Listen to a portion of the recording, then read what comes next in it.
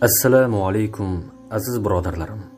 Videoni keng tarqalishi uchun layk bosishni unutmang. Payg'ambarimiz alayhissalom sababchi bo'lgan qilgan bilan barobardir deganlar. Inshaalloh bu sabab siz ham ajrga ega bo'lasiz. Vassalomu alaykum va rahmatullohi va barakatuh. Assalomu alaykum rahmatullohi va barakatuh. Alloh taologa maqtalar bo'lsin. Hurmatli jamoatlar sizda yaxshi insonlar sababli mana inshaalloh qancha qancha bolalarimiz kiyimli bo'lyapti. Shukron. Bizni ro'yxatimizda hurmatli jamoatlar e, ota onasi yo'q bolalar otasidan ajralgan bolalar e, kam ta'minlangan oila hammasi bo'lib ikki yuzga yaqin bolalarimiz bor. Ikki yuz yaqin.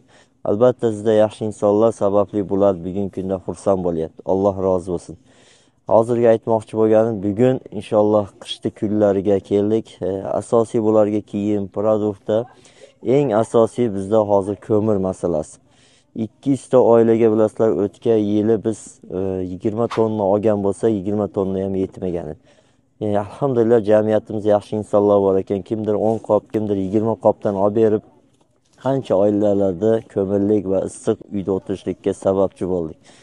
E, albatta e, sizday yaxshi insonlar sabablik yana aytaman shu kungacha bular kiyinyapti. Yana eng asosiy bugun issiq o'tirish kerak. Har bir xonadon mana biz hozir hadya uyimiz bilasizlar arenda va sveti bor un bor. Oyiga o'tgan yili yigirma ming o'ttiz mingdan расходlar bo'lgan.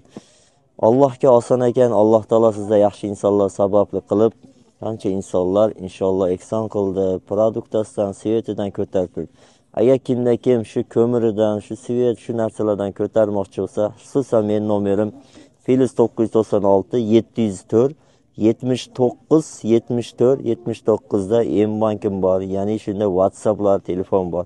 Yoki nol yetti yuz yetti bilan to'qson sakkiz o'ttiz olti to'qson sakkiz. Alloh taolo sizlardan rozi bo'lsin ertaga qiyomat kuni payg'ambar alayhissalomdan الرحمن الرحيم الحمد لله رب العالمين والصلاة والسلام على سيدنا محمد الصادق الوعد الأمين اللهم لا علم لنا إلا ما علمتنا إنك أنت العليم الحكيم اللهم علمنا ما ينفعنا وانفعنا بما علمتنا وزدنا علما اللهم أرنا الحق حقا وارزقنا اتباعه وأرنا الباطل باطلا وارزقنا اجتنابه واجعلنا ممن يستمعون القول فيتبعون احسنه وادخلنا برحمتك في عبادك الصالحين اما بعد السلام عليكم ورحمه الله تعالى وبركاته agar kofirlar iymondan yuz o'girsalar bas ey mo'minlar bilingizki shubhasiz Alloh hojangizdir mavloyingizdir U zot naqadar yaxshi hoja va naqadar yaxshi yordamchidir. Keyingi oyat. Astag'firullah wa'tasimu billahi huwa mavlakum fa ni'mal mavla va ni'man nasir. U sizlarning hojangizdir mavloyingizdir. U zot naqadar yaxshi hoja va naqadar yaxshi madadkordir. Keyingi oyat. Muzoh bo'lib vorid bo'lgani ذلك بأن الله مولى الذين آمنوا وأن الكافرين لا مولى لهم bunga sabab ya'ni Allohni mo'minlarga yordam berishiga sabab Alloh iymon keltirgan zotlarning do'sti, homiysi ekanligi, kofirlar uchun esa hech qanday homiy yo'q ekanligidir. Qul lan yusibana illa ma kataballohu lana huwa maulana va alallohi falyatavakkalul mu'minun. Ayting ey Muhammad alayhissalom bizga faqat Alloh biz uchun yozib qo'ygan narsagina yetur. U bizning hojamizdir, mavloyimizdir. Bas iymonli kishilar faqat Allohgagina suyansinlar. al-mavla al-vali do'st hoja homiy yordamchi madadkor al-vali al-mavla mavlo so'zi o'zi asli hojaga sayyidga rahbarga boshliqqa nisbatan ham ishlatilinadi va uni aksi bo'lgan ikkinchi tomon past tomonga ham ishlatilinadi arab tilidagi bir ajib kalimalardanki ikki tomonga ham ishlayveradi bir kishi o'zini qulini ozod qilib unga bir ozodlik hurriyat bergan bo'lsa aytadiki bu meni mavloyim deydi. Demak ozod bo'lgan qulga ham mavlo deb ishlatilinyapti endi boyagi ozod bo'lgan qul o'zini sayyidiga qarab turib bu kishi bizni mavloyimiz deydi. Tushunarliki ikki tomonga ham ishlar ekan bu kalima. Endi biz alloh taoloning al mavla al vali hoja do'st madadkor yordamchi mana shu ismini bas qilamiz inshaalloh. Insonni tabiatida dinga bo'lgan ehtiyoj bor. Xuddi suvga ovqat yoki havoga bo'lgan ehtiyoji kabi. Alloh taoloning mana shu go'zal ismi bizni bir mavzuga yetaklaydi bu mavzu dindor bo'lishlik. Inson dindor bo'lmay iloji yo'q. Chunki inson zaif qilib yaratilgan tabiatida ojizlik zaiflik bor. Kimgadir yoki nimagadir suyanish kerak kimgadir nimagadir sig'inish kerak kimdandir yoki nimadandir yordam talab qilishlik kerak. Inson zaif. Alloh azza va jalla insonni mana shunday zaif bo'lib yaralishini xohladi. Insonni zaif qilib yaratishni xohladi. Mana shu insonni zotidagi zaiflik nuqtalari. Birinchisi zaiflik. Inson zaif va xuliqal insanu zaifa inson zaif qilib yaratildi. Mana shu zaifligi uni foydasiga. Hammamizga ma'lum bir qimmatbaho bir stanokni tasavvur qilaylik falon pulga kelgan kuchlik o'ta qimmat juda ko'p bir e, ishlarni bajaradigan stanokni tasavvur qilaylik toker stanogini. Shuni elektr toki bilan ishlaydi bilamiz hammamiz. Shu elektr toki keladigan joyida kichkinagina bir zaifroq bir e, qismni qo'yib qo'yadi detalni bizni tilda aytganda bu предохранитель deyiladi. Xullas agar elektr toki birdaniga kuchayib ketsa tok birdaniga ko'tarilib ketganda kuch shu предохранительga keladida shu kuyib qoladi va mana shu zaif joyi stanovni sog' qolishligini ta'minlaydi. Demak shu предохранитель shu stanodagi eng zaif qismi va mana shu zaif qismi bo'lishligi kerak stanok sog'lom qolishligi uchun. Xuddi shunga o'xshagandek alloh subhanahu va taolo insonni tabiatiga mana shu zaiflikni joyladi halok bo'lib ketmasligi uchun. Shu zaifligi uni ollohga muhtoj qiladi ollohga yetaklaydi agar inson bolasi kuchli quvvatli qilib yaratilganida o'zini shu quvvatiga suyanib o'zini behojat his qilardi shu behojat his qilishligi uni halokatga baxtsizlikka yetaklar edi. Endi zaif bo'lsachi? Mashaqqat kelganda musibat kelganda mana shu zaifligi ishlaydida robbisiga qaytadi. Va mana shu qaytishligi bilan shu zaifligi bilan saodatga erishadi ya yuhannasu antumul fuqarou ilalloh.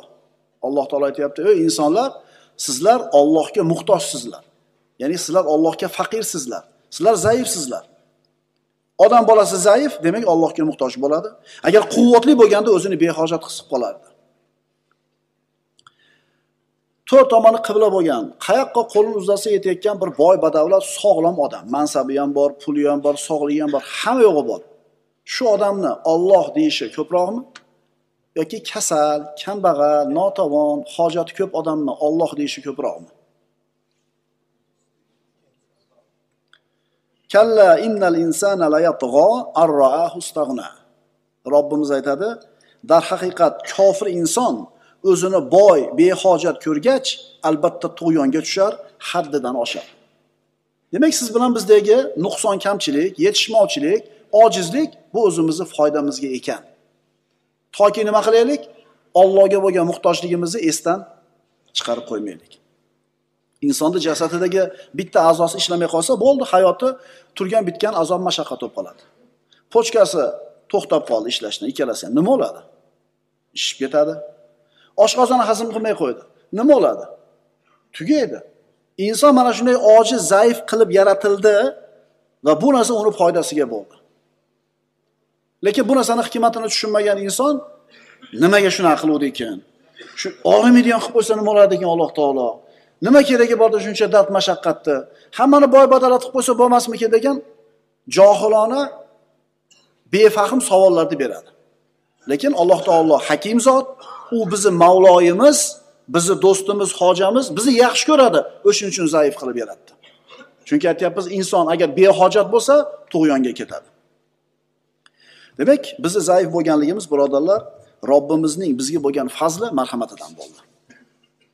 Mana alloh taolo qur'onda aytadi. Astag'billah bi badrin va antum azilla olloh axir olloh badr jangida kuchsiz bo'lsangizda sizlarni g'olib qildiku. Badr g'azotida uch yuz o'n to'rtta musulmon kishi qatnashdi musulmonlardan. Mushriklardan mingta keldi. Musulmonlarni adadi oz. Ular quvvatiga suyanadigan holatda emas robbisiga iltijo qilishdi. Sizlar zaif bo'lsanglar ham yordam berdimmi? Zaifligi olloh deyishiga sabab bo'ldi. Endi hunayn kunidachi hunayn jangida makkani fath qilgan o'n ming qo'shin keldi. Ularga qo'shimcha makka ahlidan yangi islomni qabul qilgan kishilardan ikki mingta qo'shildi. O'n ikki mingta qo'shin havozin bilan jang qilgani hunaynga chiqib ketyapti. Shunda musulmonlar o'zlarining adadini kattaligiga suyanib qolishdi. Quvvatiga sanog'iga suyanib qolishdi. Hatto abu bakr siddiq roziyallohu anhu yo rasululloh la nug'lab min qilla deyordi ya rasululloh agar mag'lub bo'lsak ham adadimizni ozligidan ozligi sababidan mag'lub bo'lmaymiz boshqa sabab bilan mag'lub bo'lishimiz mumkin. Lekin adadimiz katta deb turib hatto abu bakr siddiq o'zini qo'shinni askarni sanog'iga suyanib qo'ydi. Behojat bo'lib qoldida alloh taolo aytadi astag'firullah va iz a'jabatkum Alloh sizlarni ko'p o'rinlarda g'olib qildi. Hunayn kunini eslanglar. O'shanda sizlarni ko'p ekanligingiz mag'rur qilib qo'ygan edi. Ammo u sanog'inglarni kattaligi sizlarni hech narsadan behojat qila olmadi. Badrda oz edi, Allohga ehtiyoji bor edi, zaif edi, foydasiga bo'ldi, g'alaba keldi. Hunaynda sanog'i katta bo'lib, o'zlarini quvvatiga, sanog'iga suyanib, Allohga muhtojligini ozroq ko'rib qolishuvdi, mag'lub bo'lib qolishdi. Demak, birodarlar, biz zaif bo'lib zaifligimiz bizni foydamizga. Insonni Alloh taolo zaif qildi. Va xuliqol insanu doifa. Zotan inson ojiz, zaif qilib yaratilgandir. Mana qaranglarda mana hozir 40 minut ma'ruza qilsam, 30 minut o'tgandan keyin u yoqqa yon boshlaysizlar, bu yoqqa yon boshlaysizlar. Nimaga? Zaifsizlarda. oyog'inglar tolib ketadi belinglar qatib ketadi uyushib ketadi mana shu zaifligimiz bizni foydamiz ekan to'g'rimi esdan chiqaruvchiligimiz. Bu nuqsonmi bizdagi nuqson. Bu foydamizgami zararimizgami? Foydamizga parvardigor esimdan chiqib qolmasin deb qur'onni ko'proq takrorlaymiz. Qarang robbisini tanigan robbisini tanigan mo'min banda uni ustiga kelayotgan musibatlarni ham uni ustiga kelayotgan bizni tilda minuslarni ham o'zi asli plyus ekanligini anglay olar ekan. Bu meni foydamga dar ekan. Ammo ollohni tanimasachi? Inson zaif qilib yaratildi. Zaifligini ikkinchi nuqtasi inson shoshqaloq. Inson shoshqaloq. Astag'firullah va yad'ul insanu bish-sharri du'aahu bil khayr kana al-insanu ajula. Shoshqaloq. Inson Allohdan yaxshilik so'rab duoyi xayr qilgani kabi goho siqilgan paytlarida yomonlik tilab duoibat ham qilur. Inson mana shunday shoshqaloqdir. Jonim olib qo'yavermaysanmi deydi, ozgina qiynalib ketsa. Dardidan. Qarzidan yoki boshqa ko'chadagi muammosidan siqilib jonidan to'yib ketgan nima deydi? Za что мне это deydi. Qaysi qilgan gunohim uchun deydi. Shoshqaloq inson. Inson bolasi tezda bo'ladigan narsani yaxshi ko'radi.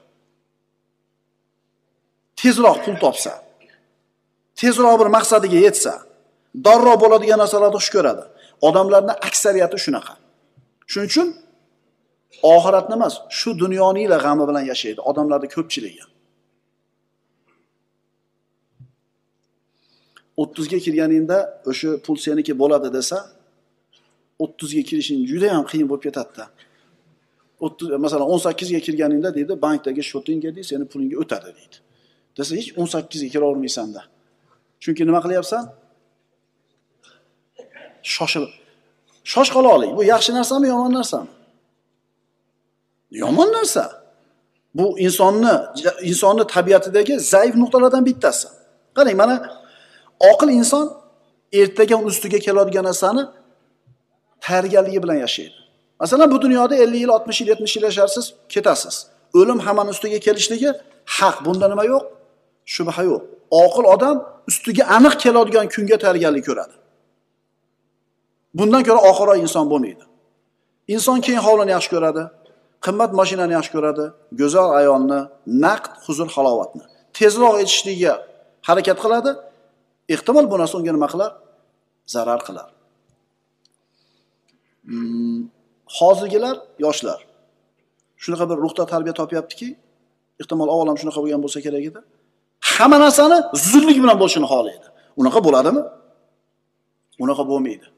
Chunki alloh azza va jalla bu olamni necha kunda yaratdi? Ha nima alloh taolo qodir emasmidi? Bo'ldi bo'ldirib qo'yishlikka. Lekin bosqichma bosqich qildi. Shundan ko'raylikki hech qaysi narsa tez bo'lmaydi. Shuning uchun odam bolasi shu dunyoni o'zigagina emas o'limidan keyingi narsani tanlasa ollohni nazdida hurmati ziyoda bo'ladi. Chunki tabiatiga xilof ish qilyaptida u. o'zi shoshqalog'ida naqdni yaxshi ko'rardi lekin naqdni qo'yib oxiratnikini ustun qo'ygani uchun ollohni nazdida hurmati ziyoda bo'ladi. Payg'ambarimiz aytganlar o'zini nafsini sindirgan va o'limdan keyingi narsa uchun amal qilgan kishi haqiqiy hushyor kishidir. Endi ojiz kishi kim? Nafsini havosiga bo'ysundirib turib ollohdan umid qilgan kishi. Biz oqilmizmi ojiz bo'lamizmi? Qanaqa bo'lamiz? Biz oqil bo'lishligimiz kerak. Insondagi zaif nuqtalardan zaif. Shoshqaloq uchinchisi betoqatlik besabrlik. Astag'dubillah innal insana xuliqo halua.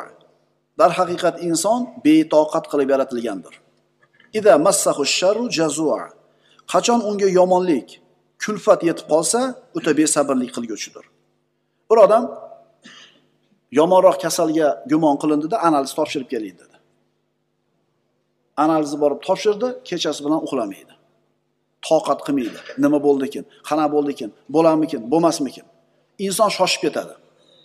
Savdogarlar agar ishlab chiqarishga o'tsa shoshqaloqligi ko'rinib qoladi. Chunki savdogarlar boradi o'n ming dollar molni olib keladida bir oy ikki oyda sotadi darrov o'n ikki ming bo'ladi. Ishlab chiqarayotganlarda bu shoshqaloqlik bo'lmaydi. Chunki u ishlab chiqarishni yo'lga qo'yish kerak. Bir tovarni sifatli qilish kerak. Ikki tarqatish kerak. Uch xalqni orasida bir ommaviy bo'lishini kutish kerak. Uchinchi to'rtinchi yilga borganda foydaga ilashadi. Savdogarlarda nima bo'ladi? Qancha pul topamiz deydi. Shuning uchun ishlab chiqaruvchi bilan savdogarni farqlardan bittasi shu bo'ladi. Savdogarlar ishlab chiqarishni ham yo'lga qo'yishimiz kerak. Ko'p aytaman olib kelib sotishni uddaladinglar yigirma besh yil qoyil. Rahmat buni epladinglar uddasidan chiqdinglar. Endi ishlab chiqarishlik qo'limizdan keladimi? A unga nima kerak? Bu ishlab chiqarish qilayotganlarga yomon yoqyapti shu gaplarim hozir. To'g'rimi? Mehnatda bu sabr toqat. Inson demak zaif inson shoshqaloq inson betoqat kishi o'zini salomatligi haqida g'am qiladi rizq haqida g'am qiladi. Mana shu ikkita narsasiga kimdir tajovuz qilsa yoki bo'lmasam e, zarar yetkazib qo'yishligi mumkinligini gumon qilsa nima qiladi? Ollohga yig'laydi. Men do'koningni yoptirib yuboraman seni deydi. Man mana shu yerda do'konni yo'q qilaman desa kimga yig'laysiz? Mansabdor aytdida uni. Nima deydi? Kimga aytadi? O'zi asli uni ishini yurgizadigan odam aytyapti yopaman do'koningni deyapti. Kimga yig'laydi? Ollohga yig'laydimi? Demak mana shu shoshqaloqligi besabrligi zaifligi uni foydasiga bo'ldi. Olloh o'zini eshigini oldiga olib kelishini xohladi mana shu uni zaif nuqtalar bilan.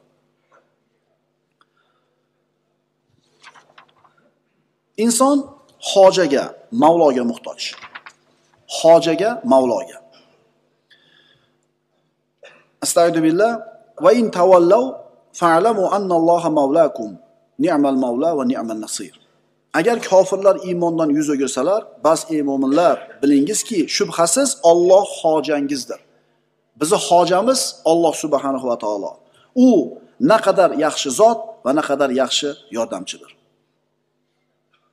Biz birodarlar mavloga hojiga muhtojmiz murabbiyga muhtojmiz suyanadigan zotga muhtojmiz taskin beradigan zotga muhtojmiz. Musulmon kishi mana shu ehtiyojini to'g'ri qondiradi. Hamma ish o'zini hukmida o'zini irodasida bo'lgan robbisiga suyanadi. U bugun mansabda bor ertaga yo'qolib qoladigan odamga suyanmaydi. U puliga suyanmaydi chunki bugun bor ertaga yo'qolib qolishi mumkin. Sog'ligiga suyanmaydi olloh bergan bo'lsa ertaga olib qo'yishi mumkin. Haqiqiy suyanilish kerak bo'lgan zotga suyanadi. U mana shu ehtiyojini to'g'ri qondiradi. Va ilayhi yurja'ul amru kulluhu fa'buduhu va tawakkal alayh. Juda ham ajib narsa bor shu yerda. Barcha ishlar uning o'ziga qaytarilur unga ibodat qiling va o'ziga suyaning. Ya'ni alloh taolo bizni o'ziga ibodat qilishga buyurishdan avval qalbimizga xotirjamlik berib qo'yyapti. Hamma ish ey bandalar meni qo'limda sen ibodatingni qil deyapti. Tushunarlimi? Kim aytgani bo'ladi? Kim aytgani bo'ladi? Ollohni aytgani bo'lsa ollohni aytganini siz qiling. Ibodatni zo'r qilib qilib qo'ying. Yana bir marta o'qib beraymi oyatni barcha ishlar uning o'ziga qaytarilur bas unga ibodat qiling va o'ziga suyaning. Ollohni qulchiligini zo'r qilib qo'y g'am qilma allohga suyanaver hamma muammoing hamma mushkuling alloh azza va jallani qo'lida. Seni muammoga kirgizadigan ham robbing o'zingni qilgan xatoying tufayli va undan chiqaradigan ham kim? Zo'ra? Sen deydi indamay ishni qilaver deydi. Unisi bunisi sassa indama deydi so'ysa xo'p deb qo'yaver diriktirmang shu meni ishxonamda ishlayapsanmi? Men shu korxonani egasimanmi? Meni qo'limda mahami yo'q. Xo'p deb qo'yaver meni aytganim bo'ladi. Endi qarang shu rahbar sizga shunaqa deb tursa siz shu rahbarni dilini olishlikka jur'at qilasizmi? Yo'q. Siz bu rahbarni emas ustingizdagi kichkinaroq nachalnikni ko'nglini olishga kirishasizmi? Yo'q. Chunki eng tevadagi nachalnik nima dedi? Xotirjam bo'l dedi. Man yilni oxirigacha turibdir buni haydab. Desa bu ma kichkina nachalnik so'kadimi sizni uradimi indamay turasiz. Alloh taolo aytyapti hamma ish meni qo'limda ey bandalar men mavloilarman sizlarni men sizlarni yaxshi ko'raman. Meni qo'limda hamma narsa. Menga aytgan ibodatni qilinglar menga suyaninglar. Bundan ortiq xotirjamlik bo'ladimi? Bo'lmaydi bizni robbimiz mavlo subhanahu va taolo mana shunday iloh mana shunday zot. Barcha ishlar uning o'ziga qaytarilur bas unga ibodat qiling va o'zigagina suyaning. Beruvchi ham o'zi man qiladigan ham o'zi aziz qiladigan ham o'zi xor qiladigan ham o'zi boy qiladigan ham kambag'al qiladigan ham o'zi bo'lganidan keyin musulmon odam qalbi qanday xotirjam bo'lmasin? Birodarlar mana shu narsa tavhid deyiladi. Olloh har bir ishda har bir ism sifatlarida yagona. Odam bolasi bilgan bilimlarning eng afzali tavhid. Qaytaramiz. Odam bolasi ko'p narsani o'rganadi ko'p narsani biladi. Lekin mana shu bilgan narsalarni ichidagi eng afzali nima ekan? Tavhid. Agar inson dunyoga kelib dunyoda hamma sir asrorlarini ilmini o'rgansayu ammo la ilaha illallohni tushunmagan bo'lsa tavhidni anglamagan bo'lsa bu odam hech narsani bilmabdi. Chunki tanasidan ruhi chiqishligi bilan uni bilimlarini hammasi unga foyda bermay qo'yadi. Ammo tavhidni bilgan bo'lsa unga asqotadi mana shu ilm.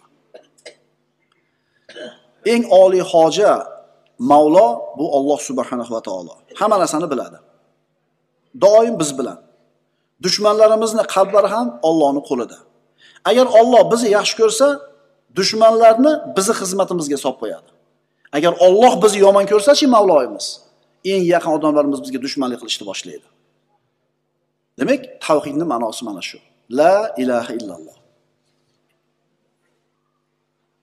alloh taolo iymon keltirgan zotlarning mavlosi do'sti homiysi va hojasi ذلك بأن الله مولى الذين آمنوا وأن الكافرين لا مولى لهم bunga sabab ya'ni alloh taolo mo'minlarga yordam berishligini sababi shuki olloh iymon keltirgan zotlarning do'sti homiysi ekanligi. Kofirlar uchun esa hech qanday homiy mavlo yo'q ekanligidir.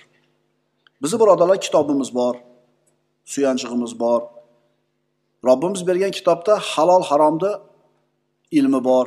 Nima mumkin nima mumkin emas bor.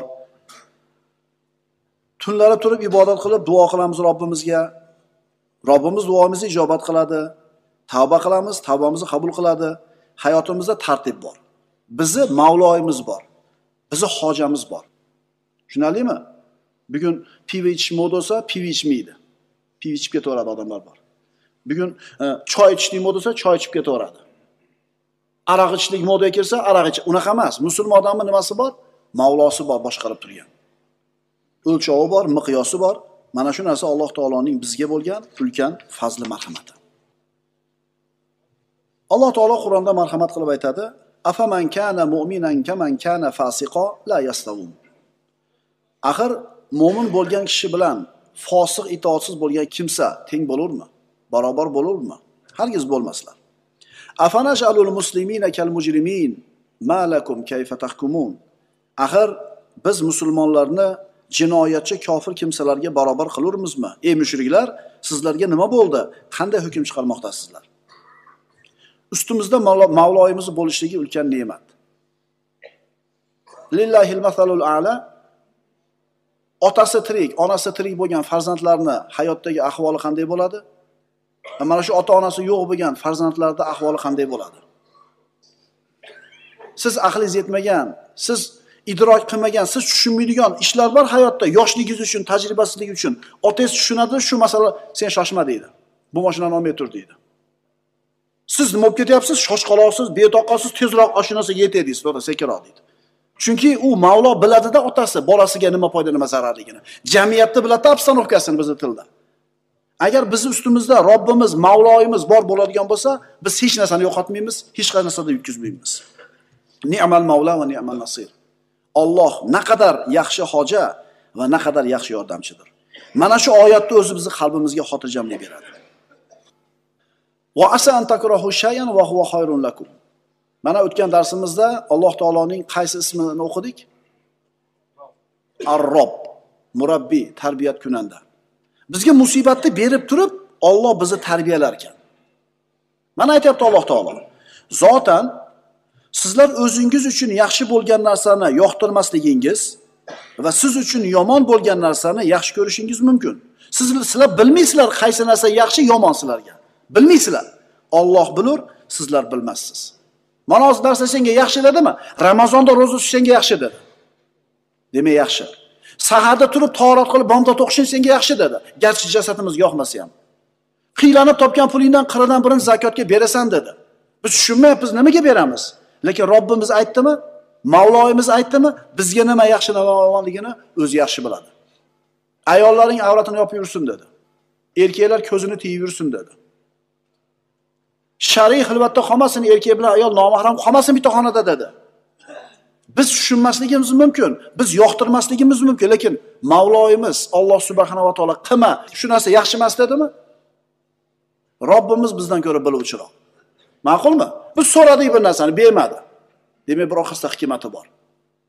Bir narsamiz Alloh taolo olib qo'ydi. Bizga yoqmaydi bu narsa. Buning orqasida nimasi bor? Hikmati bor. Chunki Mavloyimiz bizni yaxshi ko'radi. Robbimiz bizni yaxshi ko'radi. Chunki birodarlar, Alloh bir mo'min bandani yaxshi ko'rsa, unga hikmatni beradi. Endi Alloh taolo kimga hikmatni bergan bo'lsa, haqiqatan ulkan, juda ham katta yaxshilikni beribdi. hizr alayhissalom, muso alayhissalom ikkalasi kemaga chiqishdi. muso alayhissalom hizr alayhissalomga shogird tushdi. hizr alayhissalomdagi ilmni o'rganishlik uchun. hizr alayhissalom aytdi, bir ish qilsam, o'zim sababini aytmagunimcha nimaga bunday qildingiz deb so'ramaysan. Kemani teshdi. Kemani teshdi. Kemachini ko'zi bilan qaraylik. Kemachini kallasi bilan fikr qilaylik. Foyda bo'ldimi, zarar bo'ldimi bu? Biz hozir bilamiz Qur'onda u oyatini bilganligimiz uchun qissani. Kemachini o'sha paytdagi holatida nima bo'ldi? Zarar bo'ldimi? Chataq bo'ldi. Mash safargi topgan pulimni endi kemani remontiga, ta'miriga sarflayman dedi. Siqildi. Yomon bo'ldi dedi. Endi hikmatini qarab turing. Narigi sohilga boradi odamlari bilan teshik kemasi bilan. Ana shu sohilni podshohi kelgan kemalarni hammasini musodara qilib qo'yatdi. Xo'p, kemani tortib qo'yatdi kelayotganlar. Hammasini musodara qilyapti. Endi podshohni odamlari kelib, mana shu teshik kemani ham musodara qilgani kelib qaradi, teshik ekan. Ha, bu teshik ekan deb o'tib ketishdi. Endi kemachi nima deyapti? Alhamdulillah deyapti. Qachon? Hikmatini tushungandan keyin. Shuning uchun birodarlar, qiyomat kunida Alloh taolo siz bilan bizni ustimizga bergan, bizga yoqmaydigan ishlarning hikmatini qiyomat kunida pardasini ochar ekan. Qiyomat kunida mana shu qadarining sirini ochar ekan, hikmatini bildirganida qalblarimiz rozilikdan, shukurdan erib ketar ekan. Yaxshi ham bermagan ekansan, Parvardigor, o'shanda shu so'ragan narsami? Chunki berganingda mana qilib ketardim ekan. Yana qaytarib aytamiz. Alloh bir bandani yaxshi ko'rsa, unga hikmatni ato etadi. Yu'tal hikmata faqat khayron. Endi kimga hikmat berilgan bo'lsa, orqasida juda katta xayriyat beribdi alloh taolo bunga demak nima ish bo'lsa nima deymiz endi bizga yoqadigan ish bo'lsa tushunarli. Zo'r bo'ldi yaxshi bo'ldi men kutgandaqa bo'ldi. Endi biz aytgandaqa bo'lmasa nima deyishimiz kerak ekan? Buni ham nimasi bor? Mashaalloh endi qiyomatda shu hikmatni hammasini alloh taolo qadarni pardasini ochadi ko'rsatadi. Shunda qalbimiz erib ketar ekan. Qani ertaroq shuni tushunsak a chunki robbimiz bizni azoblashdan behojat birodarlar. Robbimizga keragi yo'q bizni azoblash. Robbimiz bizni aksincha yaxshi ko'radi. Yaxshi ko'rganligi uchun shu musibatni beradi. Albatta buni orqasida nimasi bor? Shu shior bo'lsin bizga. Kelinglar shunga kelishib olaylik. Bizga yoqmaydigan bir ish bo'ldimi? Yoki biz tushunmaydigan ish bo'ldimi? Bu bo'ldida endi qayerqa borasiz bu bo'ldi. Endi nima deymiz? Buni orqasida bir hikmati bor deysiz. Sizni foydangizga ketadi hammasi Jazavaga tushsangiz ham bu bo'ldi. Siqilib insult bo'lsangiz ham bo'lib bo'ldi sahr bo'lsangiz ham davlena bo'lsangiz ham bo'lib bo'ldi undan ko'ra nima qiling? Nima deng? Buni orqasida hikmati bor deng. Agar biz mana shu hikmatni anglasak man qilishlik ato qilishlik ekanligini anglaymiz. Ato qilishlik man qilishlik bo'lib qolishi mumkinligini anglaymiz. Gohida ato qilishlik man qilishlik bo'lib qolishi mumkin. Gohida man qilishlik ato qilishlik bo'lib qolishi mumkin. Buni orqasida nimasi bor? Payg'ambarimiz aytadilar ajabanli amril mo'min inna amrahu kullahu khayrun. Mo'minni ishi ajablanarlik. Mo'minni ishiga hayron qolaman deyaptilar rasululloh. Uni ishlarining hammasi u uchun yaxshilik va bu faqat mo'minga berilgan. Yaxshilik yetsa Allohga shukur keltiradi uni foydasi. Yomonlik yetsa sabr qiladi bu ham uni foydasi. Yaxshi kun kelsa ham sizga foydangizga yomon kun kelsa ham sizni foydangizga faqat kimga bu? Faqat mo'minga. Nima deyish kerak mo'min faqat? Albatta buni orqasida hikmati bor. Alloh taolo bizni sinab imtihonga uchratib dunyoni tor qilib qo'yishi mumkin. Kambag'al qilib qo'yadi yomg'ir yog'may qo'yadi. Shunda musulmon banda janamozga turadi. Allohdan yomg'ir so'raydi. Bandani qarzga kiritib qo'yadi. Jonamozga turib parvarga najot ber deydi. Demak shu musibatlar uni foydasiga ishlaydi. Alloh taolo o'zining mavlolarini albatta saqlaydi. Qarang olloh bizni mavloyimiz deyapmiz. Endi olloh o'zini mavlolarini nima qiladi? O'zlarini o'zini do'stlarini albatta saqlaydi. Muso alayhissalom. Mana payg'ambarlar tarixiga murojaat qilaylik. Olti yuz ming kishilik yahudlarni misrdan olib chiqib ketdi. Dengizga borib taqaldi. Bu katta karvonni avvali. Orqa tomondan fir'avn qo'shini bilan keldi. Ikki jamoa bir birini ko'rdi. Shunda muso alayhissalomning hamrohlari qola ashabi musa inna la mudrakun. Musoning hamrohlari biz aniq tutildik deyishdi. Aniq tutildik deyishdi. Oldida dengiz orqada fir'avn qo'shini qayoqqa qochadi? Shunda muso alayhissalom qola kalla. Inna ma'iya robbi sayahdin. Nima dedi muso alayhissalom? Yo'q robbim men bilan dedi meni mavloyim dedi. Muso alayhissalom ollohning do'sti mavlosi. Alloh taolo muso alayhissalomning robbisi mavlosi hojasi. Yo'q robbim men bilan. Albatta u meni najot yo'liga boshladi dedi. Najot yo'li qanday bo'ldi? Hassasini asosini dengizga tegizdi. Banu isroil o'tib ketdi fir'avn cho'kdi. Yunus alayhissalom o'zini qilgan xatosi tufayli kitni qorniga kirib ketdi. Dengizni tagida yotibdi. Endi yunus alayhissalom alloh taoloning do'sti mavlosi. Alloh taolo yunus alayhissalomning robbisi mavlosi hojasi. Nima deb duo qildi? Mana aytingchi telefon yo'q havo yo'q yorug'lik yo'q hech narsa yo'q. Dengizni tagi kitni qornida yotibdi. Kim qutqaradi bu bandani? olloh azza va jalladan boshqa. Astag'firullah. Fanada fi zulumati an la ilaha illa anta subhanaka inni kuntu minaz zolimin qorong'u zulmatlardan turib hech iloh yo'q. Magar o'zing bordirsan ey poki parvardigor darhaqiqat men o'z jonimga jabr qilguvchilardan bo'lib qoldim deb nido qilgan paytini eslang. Fastajabna lahu va najjaynahu minal g'om va kadalika nunjil mu'minin. Alloh taolo aytadi bas biz uning duosini mustajob qildik va uni g'am g'ussadan qutqardik. Biz mo'minlarga mana shunday najot beramiz alloh taolo o'zini do'stlariga mo'minlarga mana shunday najot beradi birodar aniq ishoning. Robbingiz duoingizni eshitadi. Robbiy sizni holatingizni ko'rib turibdi. Unga iltijo qilayotganingizni ko'rib turibdi bilib turibdi.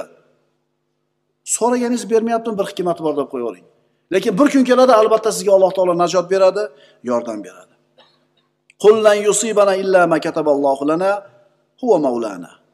Ayting bizga faqat Alloh biz uchun yozib qo'ygan narsagina yetur u bizning hojamizdir. Bas iymonli kishilar faqat Allohga suyansinlar. Kimga tavakkul qilamiz? Allohga tavakkul qilamiz. Xo'p, mana endi Alloh agar bizning mavloyimiz bo'lsa bizga nima bor? Kimning mavlosi hojasi Alloh bo'lsa unga omonlik bor.